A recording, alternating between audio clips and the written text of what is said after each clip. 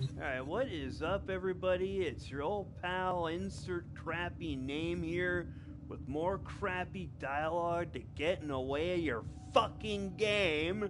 I'm just kidding. This is uh, Jotaro Shima here. Um, yeah, there's not going to be too much commentary unless people decide to, you know, throw in some messages on the stream or comments in the stream or whatever. Uh, but uh, this is Warframe. Duh. Okay, let's play.